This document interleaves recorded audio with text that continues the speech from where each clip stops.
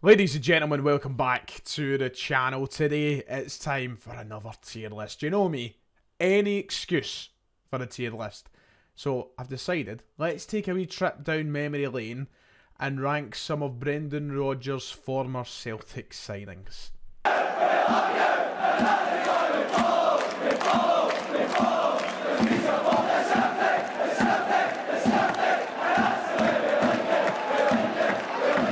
Like and subscribe if you haven't already. It would be much appreciated. Let's try and get to 40,000 subscribers on the channel. Today we're going back onto tier list. We're going to have a little bit of fun.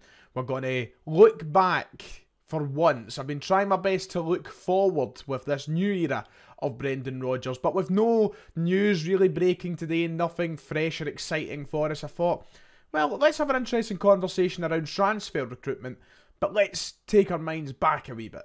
The, the, the, method behind today's video is very, very simple. We're going to rate Brendan Rodgers' signings um, from best to worst in his first tenure as Celtic manager. Now, it's a very interesting one because this was back in a time where he was very vocal when he left about the backing that he got as manager. And you can look back at some of these names and you'll see them in a minute um, and say to yourself, wow, it was a poor bunch, to be honest. There's not a great amount of talent in there, and a lot of them were flops. But I think a lot of that was down to the board backing that Brendan Rodgers got. A lot of it was down to the guys who were in the recruitment team back then as well, aka Lee Congerton.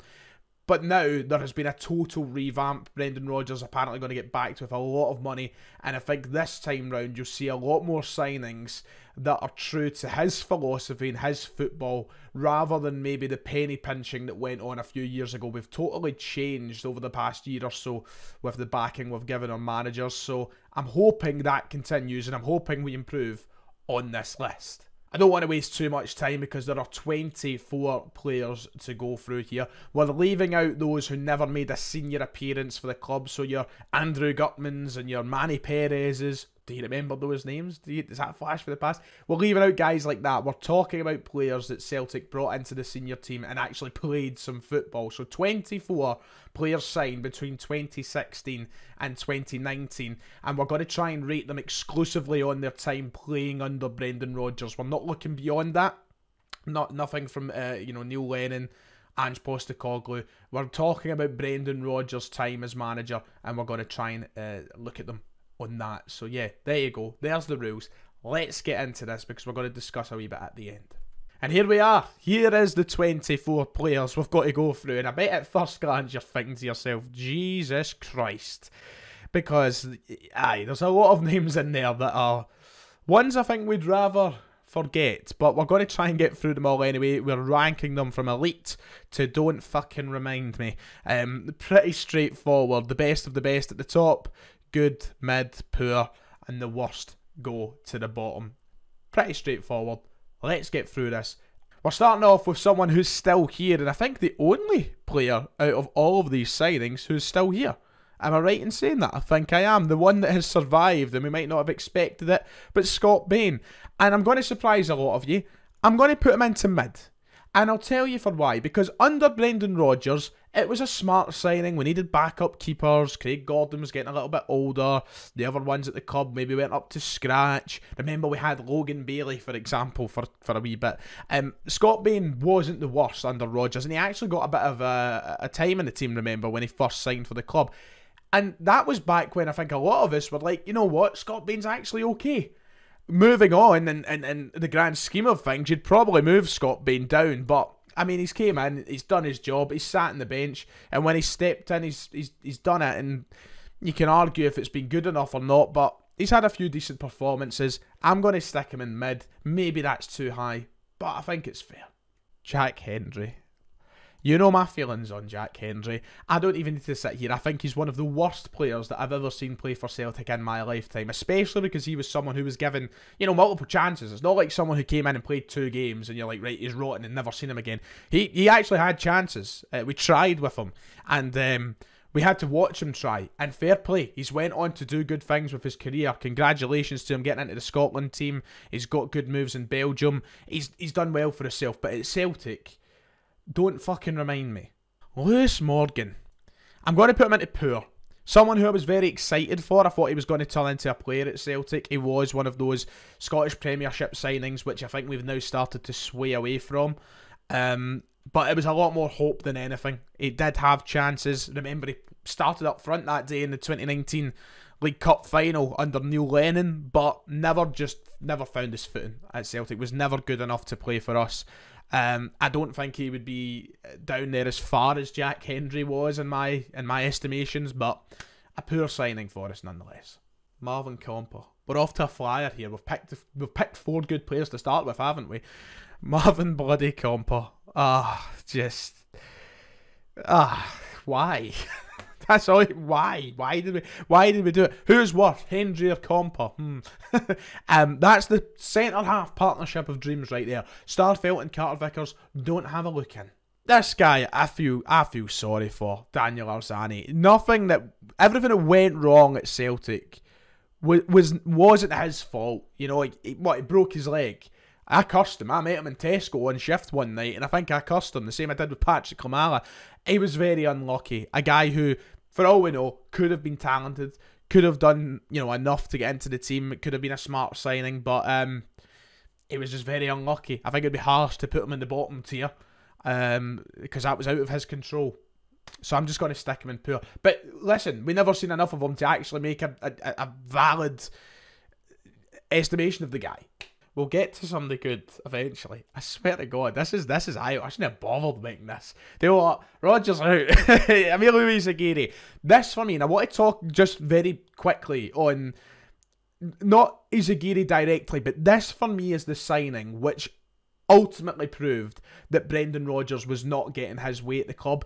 And I think this is one of the signings because that's, that's, he was signed at the beginning of the 2018 19 campaign. He is one of the signings that, for me, should have showed us all that Rodgers was going to be off at the first opportunity. There is no chance, there is surely no chance Rodgers sat there in, in the boardroom and went, Yes, I, I want Izaguirre. No chance. That for me was, that is what says everything about this spell of time in terms of the recruitment department. We were an incredibly successful team. We won everything, but recruitment, we were miles off it. And I think that the guys who were working at the club at the time and the board with the lack of backing they were giving Rodgers, this this shows it. Izaguirre coming back for a second spell at the club when we did not need that. We didn't need that at all. Izaguirre goes into the pool. Look, I love him. His first spell at the club, he'd be an elite. Remember, he was player of the year and all the rest of it. Fantastic sign. Everybody adored him. But his second spell, oh, God almighty. We, we, we didn't need Izaguirre back.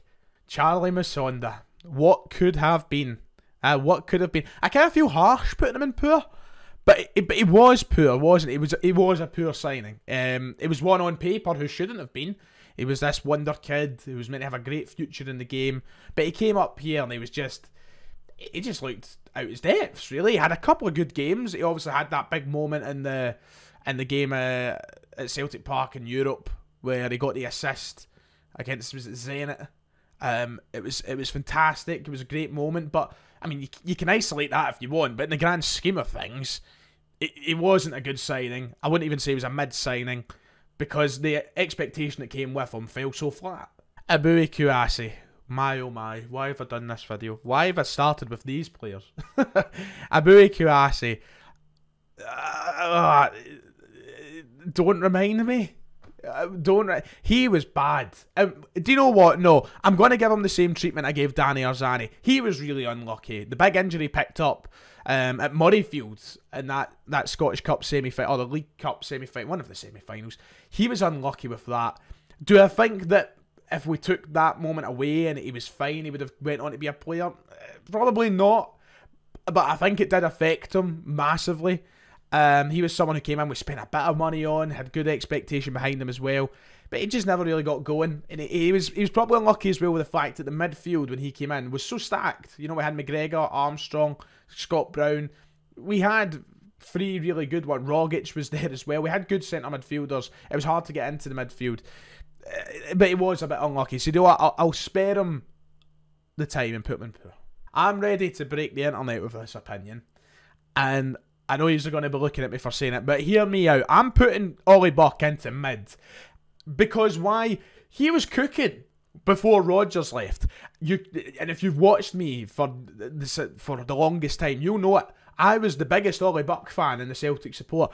I loved him. The, from the minute he signed until Rodgers' departure, he was actually good. I don't care what anybody says. He was. Then Rodgers left, and it all went down the pan. It was rotten.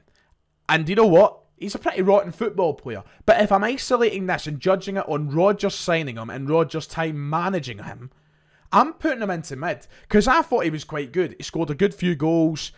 His, his pace was useful. It just all went to shit when Lennon came in. Um, if Rodgers stayed till the end of that season, I think he would have been as effective as he was in the first few weeks. But he ultimately wasn't. Um, but uh, because I'm judging it on Brendan Rodgers' time managing these players, I'm putting him into mid beside Scott Bain because I think they have similar sort of impacts as, as Rodgers players. Fine, God, finally, we get to a good one. The King. He goes to the top. Arguably Rodgers' best signing as Celtic manager. This was the kind of player that was a Rodgers signing. It was evident that Brendan Rodgers wanted Moussa Dembele. He, he spoke about him. He spoke about meeting him in the past, etc., etc. Just like Sinclair, for example. Um, this was a Rodgers signing. More players like that would have signal- signalled that he had a lot of control in terms of recruitment. But no, it was Izaguirre, it was Lewis Morgan, it was Youssouf Mulumbu. Those weren't Rodgers signings. Moussa Dembele was, and he flies right to the top of the list. He shuts up there. To this day, he's one of my favourites in my lifetime. He always will be. The king of Glasgow, Moussa Dembele. Timo Weah, another what? Do you know what? I'm I'm going to put him into good. Just signed for Juventus. Brilliant footballer. Really good footballer. One that I probably didn't give enough credit. But just like Ollie Burke was really unlucky with the fact that Rodgers left and Neil Lennon came in. We obviously terminated his loan earlier because Lennon just didn't fancy him at all. But he showed glimpses of being a really promising player. And I think it was, put it this way, it was good business for the club to get a player like that in. And he's proven that from what he's done since leaving Celtic. There's a reason that he's just signed for Juventus. Um, he's obviously in the, the, the US national team as well, played at the World Cup. It, Timo Weah deserves to be that high up for for what he maybe done and what the signing was like when he first came in. I think you could argue maybe mid because he didn't get to do too much. But in that short space of time, I think he was a good signing from Rodgers. And we all wish that we'd seen more. I remember I got asked by Copa 90 to go and make a video about him down at Celtic Park with him because he was so electric in those first few weeks. And I remember saying, this guy's going to be a star. And now he's finally getting to prove that at a high level. Johnny Hayes, um, I, am stuck because I think you can make a case for him being a good signing. But I'm going to put him to the top of mid because he was just such a utility player. I think mid, I wish there was an in between ground between good and mid here because I would have him right in the middle of the two because he was a good servant for the club, came in, done a job, was really handy, um, but he obviously wasn't the greatest football player you'll ever see. More pace than anything, really. But I, you know me as well. I really liked Johnny Hayes. Thought he was a great option at the club. Um, and for being that, that exactly that kind of player, we had the expectations of him being. He he delivered on that front. I don't think you could be overly negative about him. When he had a bad game, he had a bad game. But when he had a good game, he looked to be a solid addition to, to, to an overall squad but this one's easy as well as the up into elite. Now you could argue that he'd done most of his good work for Celtic um, after he left, after Rodgers left. He was probably, you know, the highlight of the season after, and then the COVID season he was our best player as well. You could you could perhaps argue that, but he was still an elite signing. Odsonne Edouard will be one of the modern great strikers at Celtic alongside Moussa Dembele. Uh, pretty identical type of signings a good replacement for Moussa when he left. He stepped up big time. Um, yeah, Edouard deserves to be right up there. I mean, I don't need to speak on him all day. You, you know exactly who he is and what he done. Marian Shved. Yeah, let's let's let's get him in it. I, I think I think we should put him above Compper. Um, Shved. Remember free Shved. Remember all of that. Why? Why did we want to free Shved? um, I suppose you can make a case that he's went on to Shakhtar and he's he's had a, a, good review about him. You know, people have said he's decent at Shakhtar. He also scored that screamer for us in the Champions League qualifiers as well. But let's be real, don't fucking remind me. Talking about don't fucking remind me, there's someone else who goes right into that list. It's Jeremy Toljan. Someone who I was excited for his signing coming from Borussia Dortmund. Had seen him play a few times, was wondering, wow, how have we managed this? And that's because he's absolutely shite, as they would say. Um, he was rotten. Uh, you could say he cost us any chance that we had in that last 32 game against Valencia uh, by getting sent off. He was terrible. This is the other guy who I think you could argue. I think between these three, it's so close. I think it comes down to personal opinion who you think was Rodgers' best signing. But I'm going to put him in. I'm going to slot him in at number two because it was such a smart signing. Getting him at the age he was at, the fee was was relatively lower, and there was obviously a player there. Once again, like Moose said, this was signs of a this was a Rodgers signing. He'd, he'd worked with him at Swansea. We knew he was a Rodgers signing. And he was an elite level player for us uh, playing in this league. And and even in Europe he was brilliant for us as well. Scott Sinclair was magic. He's one of the best wingers I've seen at recent times in Celtic. I miss him. I would kill for him in his prime again. Um, and I wish we got much more of him. I wish we'd seen longer.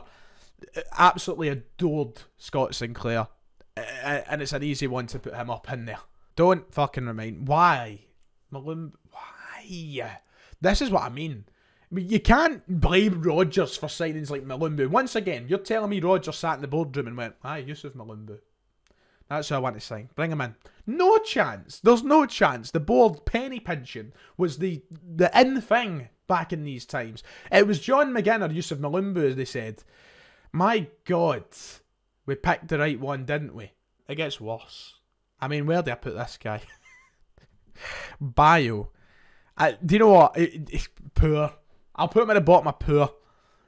Because there was there was wee glimpses of him maybe doing something for us and just he's just he, he is the literal definition of a poor player. I'm putting Benkovic into good now, he's went on to flop. He's not really done much of his career post-Celtic. I think he's been unlucky with injuries. I, think he picked up an injury when he was at Celtic, in fact, because he only made about 23, 24 appearances for us throughout that campaign. But he was good for us. He was. Remember, everybody wanted him to sign again the following season. Never did. Um, there was rumours of him going here, there and everywhere, and I think Leicester at some point wanted to give him a go. Um, then obviously Rodgers ended up at Leicester, but never happened for him there. Benkovic, he was good. He was a solid centre half. Really liked him uh, in that, that one season we had with him. Um, it's a shame that his career's not went and, and done anything since, but I like the big man. I'm putting him in good. Dorus de Vries, a gentleman by all accounts, but don't fucking remind me. um, the fact that he came in to actually be our first choice keeper is nuts. And then then Barcelona happened. Uh, Aye, Dorus de Vries. I don't know if that's harsh because he did end up spending the majority of his time as like a second choice keeper behind Craig Gordon. So so maybe that's. Do you know what? I I'm going to move him into poor because I think that's been quite harsh on him. But he did have some honking moments when he did play. I'm going to put this guy in. I'm putting Kolo into mid because overall he turned out to be good for the club in terms of coming in with that experience, good leader went on to be coaching for us, was rated really highly as a coach at us. And I know we're trying to judge it on playing, but he did come in at what, like 36 years old. And he didn't play a lot of football. He was unlucky that a couple of the big games, like Barcelona, for example, were, were Barcelona. Like, we were playing a back three of like him, Eoghan O'Connell, and somebody else that night. Um, I'm going to put him into mid because you know, I, I liked Big Kolo. For, for, for what you expected with a guy like him coming in, you knew he wasn't going to be playing much longer. I don't think he was beyond dreadful, and I'd certainly say he was better than, than any of the other defensive options down here, Compper, Hendry. I, am going to put him into mid. Maybe that's overrated him. I, I don't know. Let's battle through these last few here. Kundai Benyu, just, just. I, I feel like I feel like we shouldn't be. Did he even make a senior appearance? I'm going to double check this. He did. He played one game. Um, I remember him playing in pre-season, and he tried some daft fucking thing with the ball, a roll, a rollover, or whatever you want to call them, and he fell on his arse. Um, but he did. He played a senior game. He made one appearance for us, and it was the it was the Linfield game, which I wasn't at, so I never seen that. I was on holiday. I remember that. So there you go. Um, don't remind me. Christian Gamboa was pretty bad. He, he was pretty, pretty bad. But he did have a couple of good games. He did. There was a couple of games that he was quite decent. People were, oh, give Gamboa a chance over Lustig. I remember that conversation. I remember it. People were getting behind that for a bit. Overall, he turned out to be quite poor, but we didn't spend a lot. I'm putting him into mid. I am. Is that generous? I think that's generous. I'm going to put him at the top of poor. We need another in between section just called Christian Gamboa. Um, aye. And finally, the last player, Olivier Ntcham. I'm putting him at the good. He was such a polarising player. I've never seen someone split opinion between Celtic fans my entire well, I have. I've seen a few polarising players, but he's up there with the very, very best of the polarising players. But on his day, he was a quality football player, and I think that we got the absolute best of him out of Brend- with Brendan Rodgers in charge because it was really towards the end when Lennon was managing him where people were like, "I'll "Oh, get him out." You know, Will Rodgers was here. He was he was good. He was.